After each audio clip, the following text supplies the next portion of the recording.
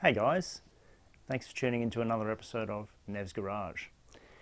Now, if this is your first time joining us, however, make sure you hit that subscribe button and also toggle on that little bell.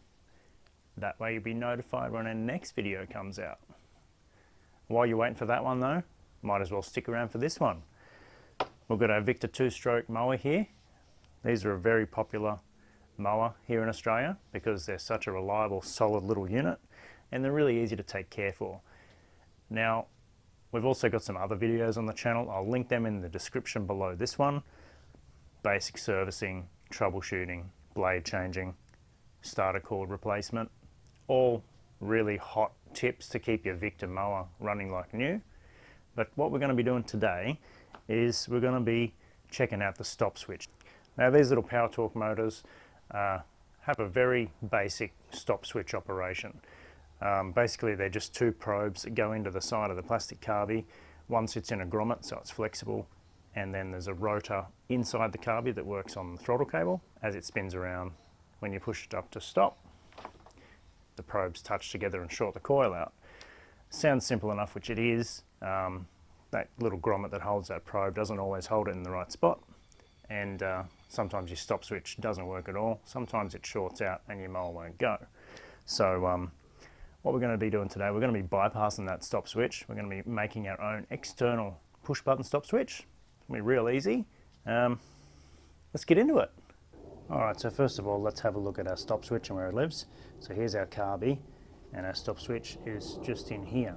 Alright, so it comprises of two wires and a couple of grommets, and, and that's about it. So if we, if I move the throttle, you'll see the wires wiggle. Alright, so as I move it up to stop, that wire that pushes in the side just cocks sideways a bit. Like that. Alright, so it's a very basic operation and it's, uh, you know, when it's brand new and everything's adjusted right and the grommets are in good condition, it works fine most of the time. But um, sometimes it just doesn't. So we're going to make it super reliable and uh, not going to have to worry about it again. So it's really easy to pull apart. You just whip this wire straight out the end and there's our grommet that I was talking about on there. Okay.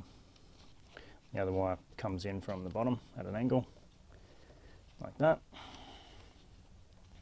There he is. We can just leave the rubber cap on there, that's fine.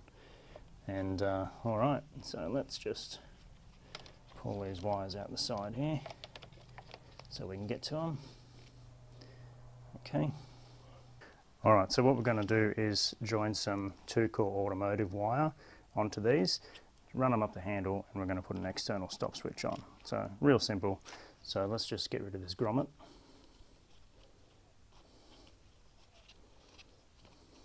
He just pulls off. And we're just going to solder straight onto these brass terminals just to make it real easy. So let's do that now.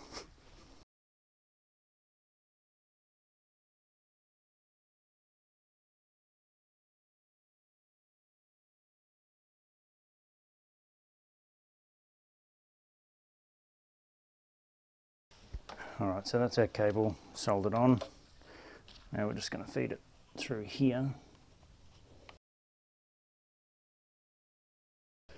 Tuck it out of the way. And we're just going to run it up the snorkel.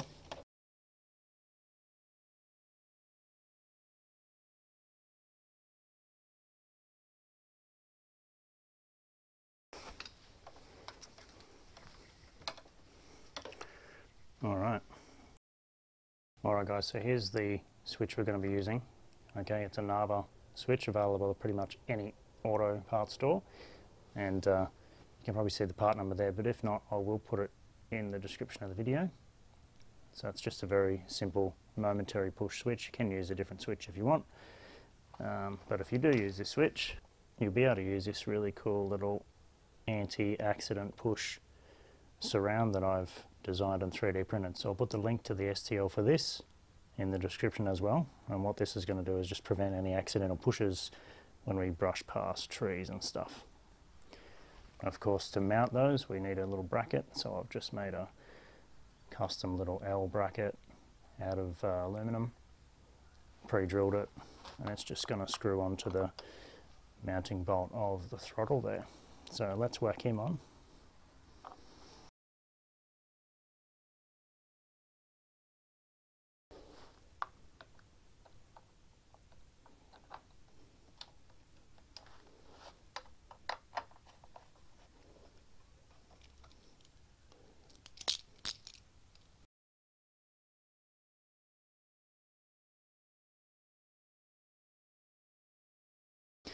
Alright, so we pop our switch down into our switch protector, like that. Pop it onto our bracket, like that. Pop our switch retainer down our wiring. Now we can solder our wires onto the switch.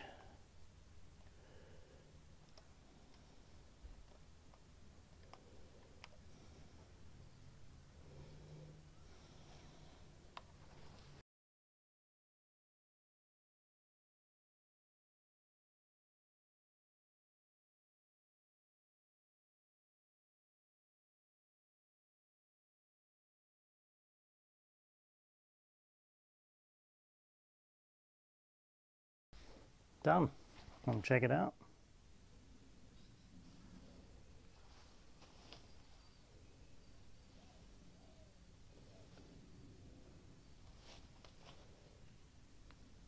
See, nice and tidy. And uh,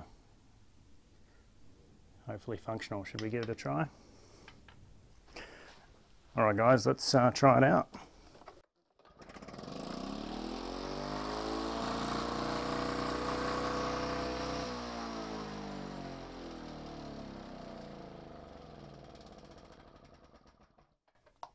Beautiful. Again.